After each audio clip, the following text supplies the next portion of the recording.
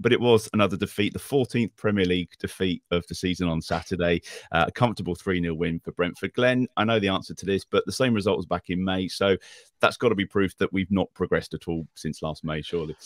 Um, well, yeah, I mean it's two games nine months apart, so you, you, you can't really sort of use that to sort of build up a big picture. But yeah, it's interesting that you know everyone knew the significance of the game last year in terms of the, the crowd sort of turning on Ralph, and we've gone there today. We've uh, sorry, yesterday we played a very good side, and it, it seemed to me like we were just about hanging in there in the in the first half for the you know for the first 40 minutes two goals in a minute. The, the game the game is completely dead, isn't it? Um, and uh, you know, I thought there was there was one exceptional performer for us at the back for most of the game. Salisu, I thought he was excellent. He mm. prevented two certain goals in the first half, prevented another one in the second half when it was already two 0 I think.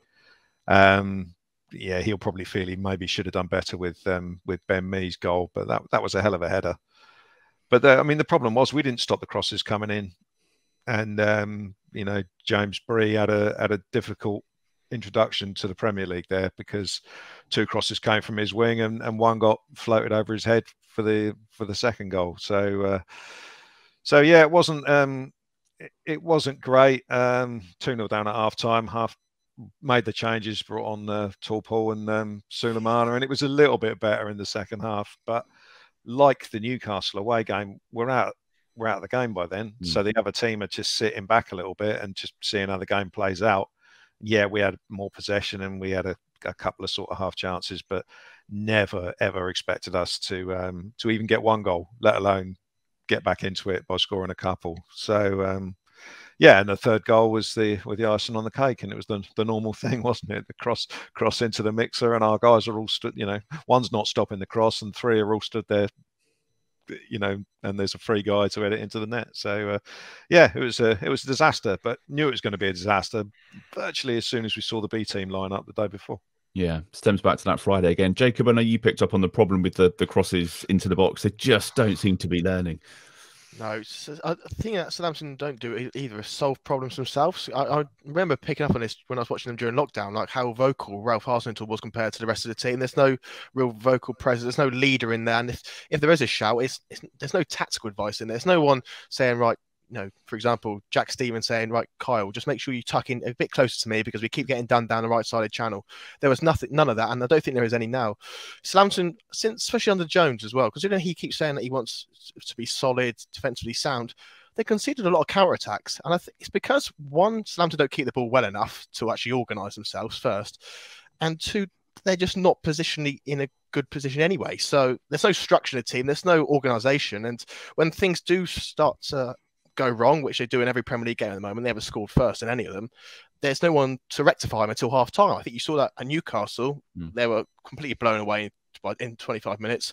And an injury to Joelinton called, allowed Jones to call them over, and they changed back to, to a back four and actually got a, a, little bit better. It just feels like we see the problems in the first five minutes, and that sets a tone. You know, crosses into the box, overlaps. You know how Brentford play. They're probably how Southampton want to play eventually. Uh, but Southampton couldn't deal with it. And the fact is, Southampton conceded 10 goals from crosses now. They get broken on a lot of times, and they they seem to be going back to how Ralph was, just without the press as well. We're all starting to sound like broken records, aren't we, Steve? But it was it's just the same old story again, unfortunately. Yeah, I mean, Jacob did uh, put a graphic out on Twitter. Um, was it this morning or was it last night? Um, showing showing all the first half crosses, oh. and basically the two that were headed away from I think there were two that were that were prevented from getting into the area, and then there were two that were literally in the first two minutes from corners from either side, mm. headed away by the first man. You thought, well, if, if they're putting corners across like that for the entire ninety minutes, that's fine. We can we can deal with that and head those away till the cows come home. Um, but of course, Premier League players are better than that, and eventually they'll learn and they'll they'll adjust. And the crosses did get better in into the area, and we're just not good enough at stopping them. Um, and I mean, this is something I'm, oh God, I'm so bored of just discussing this because we bring it up every week. We all are. that we, that like the years where we were good defensively under Pochettino, Koeman, and even Puel when, when we were, we were, we were we weren't quite as attacking as we needed to be towards the end of his his year in charge. But certainly to start with, defensively, we were really solid, and that was because we didn't let the ball get into the area. If you don't let the ball get into the area, then at the end of the day, you're relying on the opposition are relying on taking a pot shot from 30 yards and pinging it into the top corner. At the end of the day, if, if someone if someone scores that way, you, you stick your hands up and give them and yeah. give them a handshake and say, "Yeah, fair play to you." Um, but we've not. I mean, we pack our team with defensive midfielders, and yet the defensive midfielders aren't doing the job of a defensive midfielder of helping out the defence. They give a little bit of protection to the centre backs when the opposition are running at us. Um, but when the ball goes wide, they need to be shuffling across and giving the fullback help because clearly um, whoever's playing at fullback, and to be honest, it doesn't really matter who it's been over over the last three or four years whoever's been playing at fullback hasn't been good enough on their own um, to stop a winger or a combination of a winger and an opposing fullback from um, working working an angle and putting a cross into our box. And we can see so many, so not even just so many goals, but so many clear chances, so many chances that we get away with um, a lot of the time. But this season we're we're getting found out because we're we're giving away good quality chances, and the opposition are just better at taking them um, than they have been previously. And it's just not good enough. And I mean, the fact that I'm sat here with, I mean, my, my coaching qualification is basically the, the most entry level qualification you can get, like the FA junior level one or whatever it is these days. I, I can't can't even remember what it's called. That's how long ago I got it. Same as one of Nathan Jones's assistants, then, isn't it? Quite possibly, yeah. but it's but the fact that even I can see this um, as a as a basic problem at a top level league. Surely they surely they analyse this and spot that that crosses into the box are a problem. Actually, defending the cross itself by being able to win headers and stuff isn't the issue. It's letting the ball get into the box in the first place. And it's like, well, okay, you've got you've got you want to play a zonal marking system. That that was basically what caused the goal, the first goal, Ben Mee's goal, is because Mee has sprinted across the the um, the defensive line. He's got the momentum from his run and is able to put power on his on his header and basically outmuscle um, Salisu and I think I can't remember who else it was that jumped with him. Um, but basically, everybody ends up in a crumpled heap.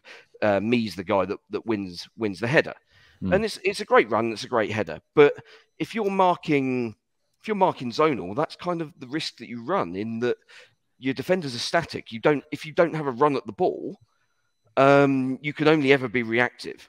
And I think in the situation where too many balls are coming into the box, you've got to be a little bit more, more proactive than that. And I think if you if you're allowing the ball to come into the box, we need to be marking man to man. Um, whereas that zonal marking system kind of works if you've got um, midfield help to prevent the ball coming into the box in the first place. Is it, Glenn, more to do with the inconsistencies in the lineup? You look at the most successful teams over years, they know they're going to play with a back four or they're going to play with a back five, and they're going to have the same personnel week in, week out. We've got someone like Romain Perraud that puts in a really good performance against Blackpool, scores a couple of goals, and then he's not on the team sheet. Then you've got um, the new lad, Bree, coming in um, at right back and, and struggling because he was chucked in at the deep end. That there's, there's no chance for them to build relationships no. there and get to know each other. And, and surely that's going to be a problem. Yeah, it is. I mean, you you know, to me, you you you pick your best two central defenders.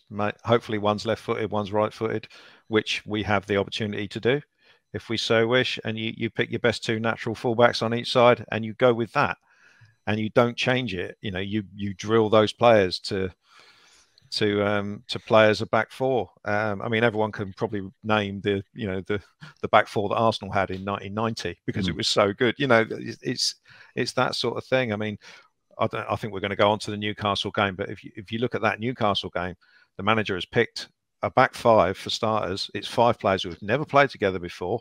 It includes a player who's never played higher than the championship in his first game at this level away at St James's Park in the semi final. It includes a player who's been on loan at Aston Villa and not started a game. And it includes a, a right back playing left back. And you wonder why it's a shambles. Mm you know, it, it's it's not rocket science, and and in that particular case, because a midfielder lost a runner, he kind of absolved himself from all blame for picking that back five and just said, "Oh well, if we hadn't lost a runner, it wouldn't have been a goal." That that's as maybe, but you know, we had we had five defenders all feeling their way into the game, and um, you know, I, have I've been accused of being a bit bit hard on James Bree. I don't think he covered himself in glory yesterday, but he he was okay. He, I thought he was, was he was horribly thrown into that game against Newcastle. You know, on the on the back of probably two training sessions with teammates he'd never met before, and he he was thrown into that game, and there was absolutely no need to do it. Bearing in mind Walker Peters and Perraud were were available, and you could have he could have picked a familiar back four or even a back five.